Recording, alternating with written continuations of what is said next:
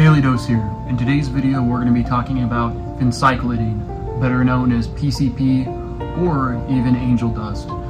We're going to be discussing this because it's something common that you can see in the psych setting and I've seen as well as a psych RN and the true the true dangers of it.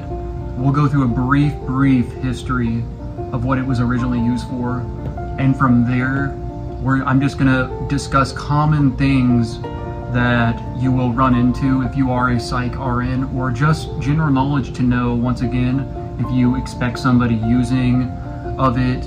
Um, in particular, we'll go into post using, um, but yeah, we'll be talking about active use as well. But like and subscribe.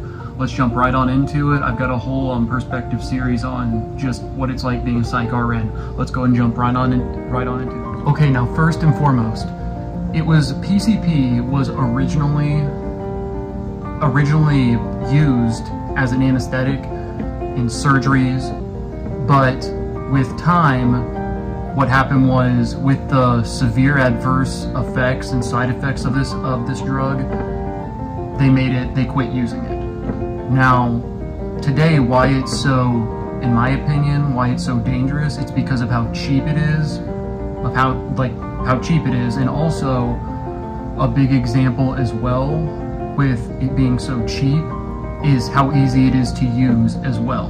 Now, what I commonly see in the psych setting we will be touching on now, and let's go ahead and jump right on into it. So the first thing as well you have to keep in mind with PCP use is, is it active use or is it the post use? Now you might be going, what do you mean by that? So active use meaning they're actively they've active they're actively using it and how they're reacting to it. Are they reacting in a positive way? Are they what are they telling you? Now, this is something typically I'll just say in the psych setting if if suspected of somebody actively on it, they're typically sent to the ER first because a lot of times they'll need things, for example, like maybe like IV, a bag of IV fluids. Also, just in general, ruling out different things because in psych hospitals a lot of times you can't carry IV bags um, just due to the high potential of like a lot of patients having suicidal ideation and whatnot. But so this a lot of times I don't see, but I have before. But once again, so active use. Let's go ahead and go into it. So, for, so is it their first time using? Um, that's really big as well.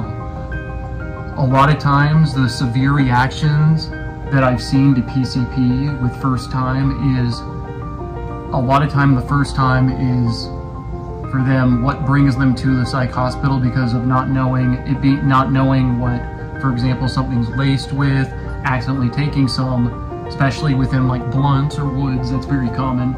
Um, but yes and i mean when a lot of times what's reported if it's their first time is the losing control the hallucinations, um, in particular, in particular, in active use over here.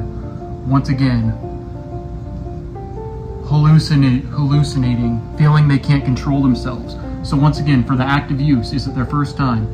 I wrote right right down here too. It is for in just in general. And this these ones, these last two will apply to the post use. Cheap to use, very cheap to use.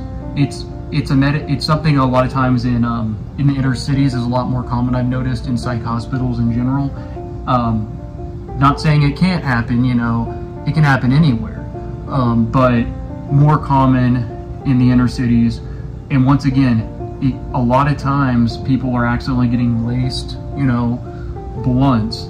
Um, and that's a big thing as well is a lot of times when somebody says, oh, it was laced with something, what that means a lot of times is laced with PCP, very, very common, or angel dust. Um, a lot of another interesting thing I find with it is a lot of times patients reporting how it affects them. Some people report psych like they're in psychosis, they can't control themselves, becoming very aggressive. Some hallucinating. Some some people use it for the pleasure of it. Make it makes them feel good. But that's the thing, it has so many different uses. A lot of people use it sometimes for a downer effect or even a stimulant effect, surprisingly enough.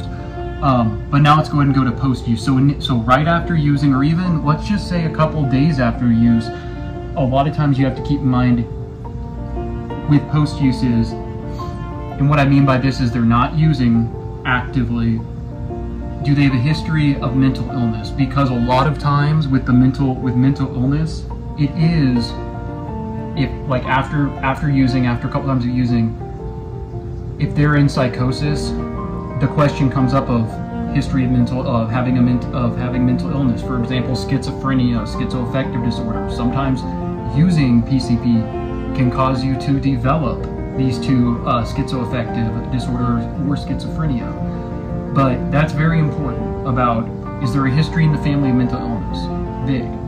I should have put history of mental illness, health, history of mental health illness in family. Because a lot of times that if history of it can cause things like schizophrenia, psychosis, things like that. Um, another thing, mood swings, very common. And let me once again differentiate between this more so. What I mean by post use really is more so like 12 hours post-use, active use, what it's going to be like, um, like when they're actively using. But I will tell you that when they're coming down from it, the post-use is a lot more is a lot more uh, scary to the person using. Like 12 hours post, mood swings are very common. Impulse control, very poor impulse uh, control. If they even have impulse control, sometimes. I mean, it, it's it's. I'll tell you, it's just something that if you've never seen it, you wouldn't believe, but it's it's very true. Um, once again, aggression. Aggression is huge. Huge. Aggression is something that when it comes to, in my opinion, to phencyclidine, angel dust, PCP in general, is the aggress the aggression aspect because their strength can be honestly it seems like three times as strong one time we there was somebody who had uh, post use would come to the mental health hospital, walk in, and this woman did not weigh more than, in my opinion, probably like a hundred pounds. And the strength she had to hold her down, and I know that like once again to give her to help her calm down, we had to give her an IM.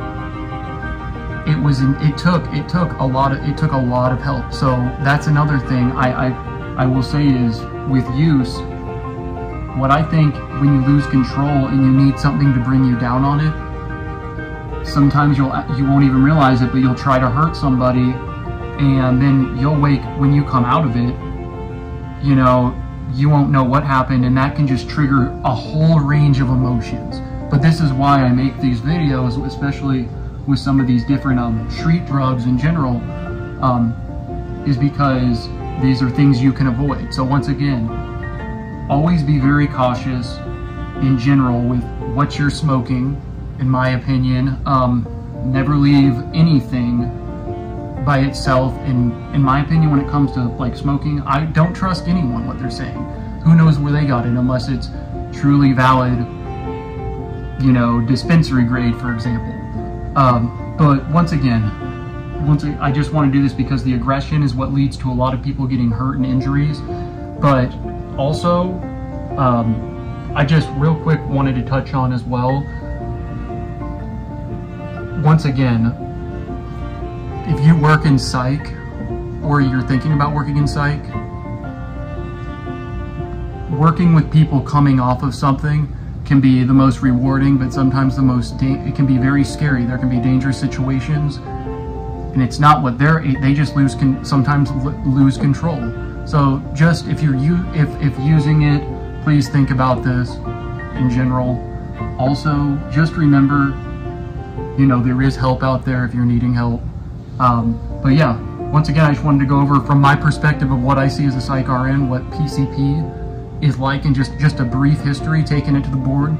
But like and subscribe. Check out my other videos. I'm doing 365 days of running. I'm past day 200. I'm like on day 218 or somewhere around there and I'll also put a playlist in regards to uh, my perspective of what I see in the psych setting as well. Love you all. Like and subscribe. Have a blessed rest of your week.